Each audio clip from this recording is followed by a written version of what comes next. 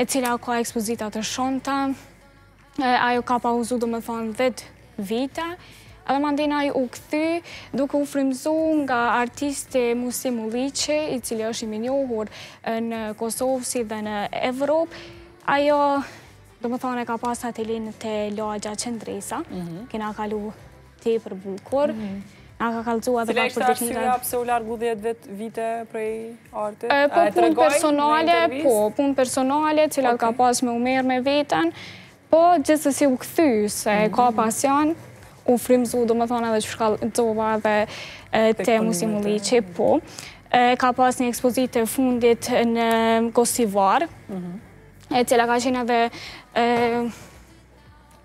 e cila ka qenë edhe refugjate në kësi në luftë, edhe ka mhm. frymëzu për me bo këtë ekspozitë e cila titullohet tjetri dhe unë, mhm. kjo domethënë ka qenë ekspozita e fundit, edhe do të jetë edhe një ekspozitë tjetër në Prishtinë shumë shpejt.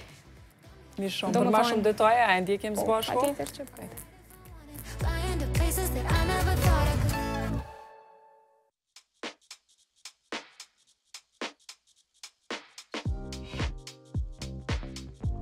Për ata që nuk më njohin, jam Arlinda Hajrullahu.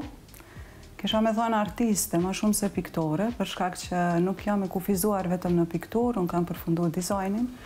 dhe kam magjistru në pikturë, kështu që gjatë gjithë jetës jam marrë me krijimtari, po në fusha të ndryshme dhe, dhe mediume të ndryshme. Me art profesionalisht kam fillu me u marrë qysh nga viti 1997, që do të thotë edhe pak e bahen 30 vite. Ndërsa me art jo profesionalisht, qysh në fëmijëri. Në fakt nuk jam rast i veçuar, të gjithë fëmijët i konsideroj artistë, të cilët gjatë shkollimit formal dhe gjatë rrethanave tjera jetësore,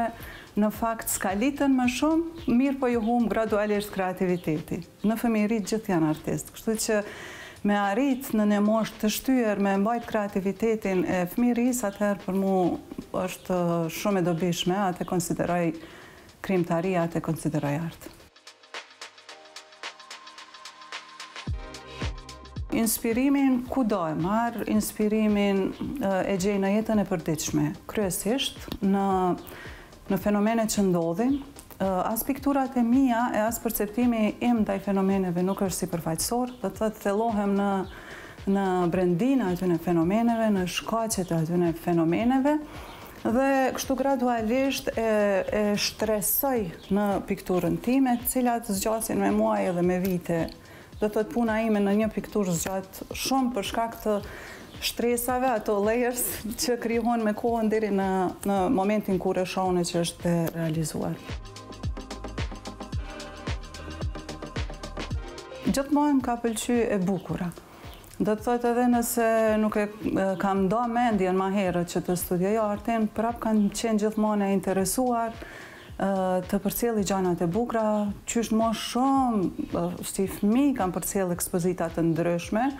këtu nuk janë meritat e mia, janë meritat e prindërve të mi, që ma kanë mundësu me pa ekspozita të ndryshme, ma kanë mundësu me u mishru me artin. Dhe kjo më ka nxitë, po nëse ndalem te njerëzit më meritorë apo te te shkaqet kryesore që kisha me i cek, apo fajtorët kryesorë që unë të fokusohem në art, kisha me u ndal te dy njerëz shumë të rëndësishëm të jetës time. Fillimisht kisha me u ndalë te profesori i mirënjohur Muslim Mulliqi, i cili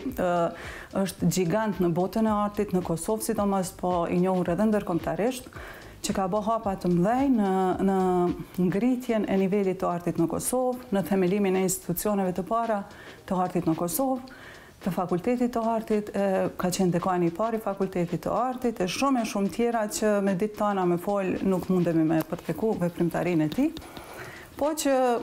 e pata fatin në moshë shumë të re, ndoshta shtatë-tetë vjeçare, të takohem me punën e tij, t'i shoh veprat e profesor Mulliqit, të cilat normal që nuk i kuptoja në atë moshë,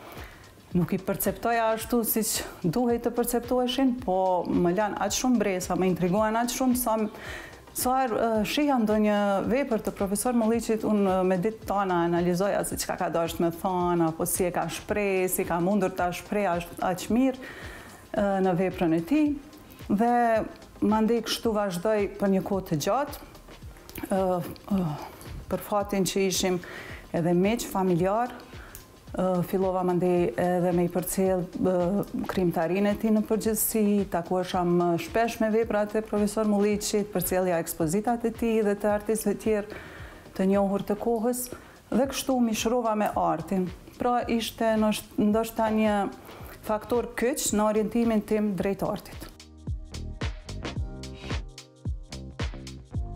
Sa u përket ekspozitave kolektive, e para ka qenë qysh si studente, do të thotë qysh prej vitit 97. Ndërsa e para personale ka qenë diku n'vitin 2010 ose 11. Mandej ka vazhdu e dyta në vitin 2012, mandej kom bo një pauzë sa u përket ekspozitave personale, deri në vitin 2022 kur e kom hapë të radhës. Mandej tash aktualisht e kam një ekspozitë të hapur në Gostivar.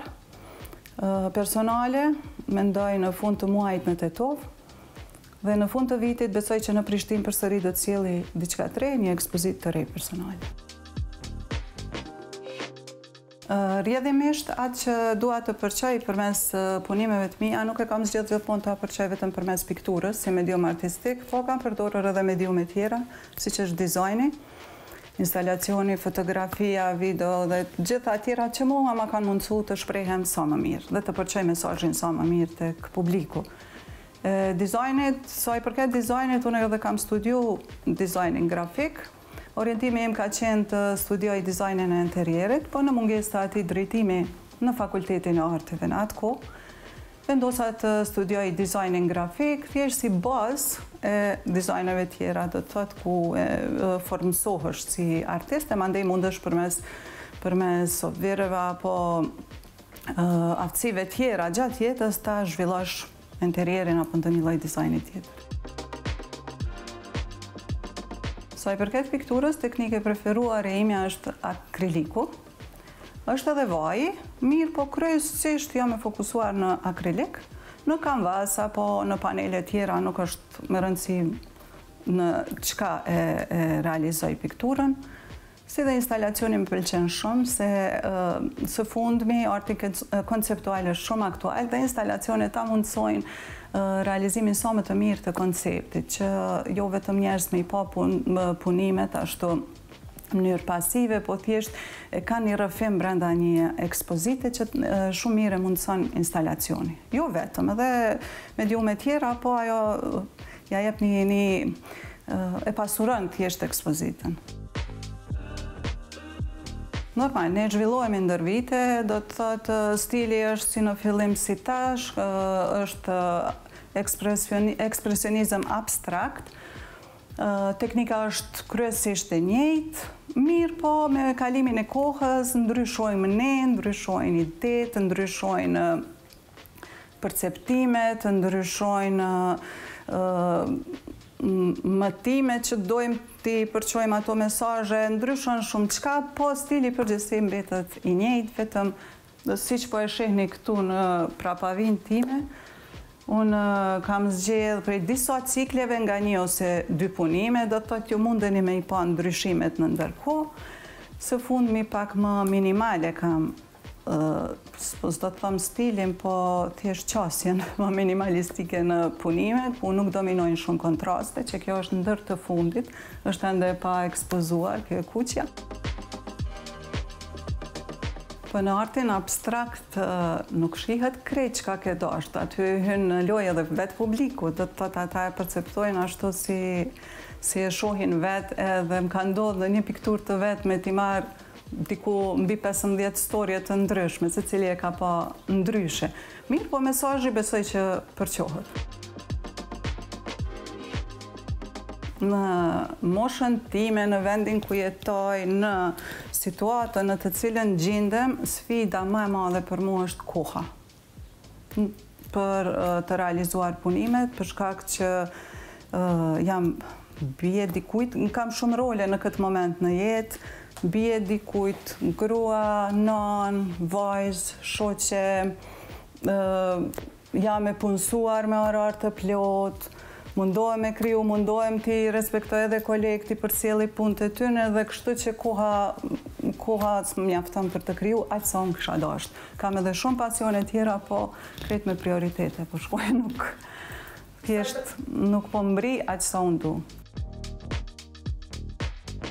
Mënyrat për me i promovu, me i shit, s'po di, s'kisha me potencu ndonjë mënyrë se s'kom punu shumë në atë drejtim, s'është që nuk kam shit, kam shit mjaft, po sa i përket marketingut, Nuk nuk jam marrë shumë me atë pjesë për shkak të kohës, siç e ceka edhe më herët. Nuk e kam unë krejt kohën në dispozicion t'ia kushtoj artit. Ë përmes rrjeteve sociale besoj që është është një hap, nuk është mjaftueshëm mirë, se ndryshe kur ta shohin punimin ë fizikisht, ndryshe është në rrjetet sociale. Mirëpo përmes rrjeteve sociale, përmes ë punës që e kanë pa njerëz te dikush tjetër mandej kanë kërku punë të mia përmes miqve që kanë ndonjë restoran apo ndonjë vend ma reprezentativ ku i kam vendos punimet e mia, që shumë punime nuk i kam edhe në shtëpi, po ma e mira është përmes ekspozitave, aq sa kemi mundësi me i realizu. Unë shpenzoj mjaft kohë, po e shpenzoj kohën të cilën nuk e kam, po ia, ia marr vetës, ia vjedhi atë kohë. Unë për me pikturu zakonisht zgjohem shumë herët, pesë ose në gjashtë mëngjes, edhe punoj gjatë ditëve të javës më pak, bëj nonjë korrigjim, gjatë vikendeve punoj deri kah ora 10, derisa më thirrin obligime tjera familjare, kështu që kjo është tempoja ime, përndryshe gjatë ditës shumë pak kohë. Po, nuk është që nuk e gjej, do të thotë e gjej edhe ka net tana, ndoshta që mbyllna pas ditët tana, po po flas për këtë në përgjithësi, në rutinën time është të punoj herët në mëngjes, shumë herët. Pavarësisht rrethanave në Kosovë, pavarësisht sa çmohet arti në Kosovë, unë fatmirësisht jam marrë edhe me me punë të tjera apo krijime të tjera që më kanë mundësu që të mos mbështetem komplet në krijimtari në pikturë për shembull. Kohë të gjatë edhe dizajn të interierit kam punu, thashë që nuk ka pas drejtim që ta studioj dizajnin e interierit, mirëpo valët e jetës më orientuan në një vend ku unë thjesht Fillova ta aplikoj dizajnin e interierit, fillova të kërkohem prej njerëzve, edhe diku trembëdhjetë vite kam punu dizajn interieri, se aredimin e kam pas pasion gjithmonë, edhe pikturat vijnë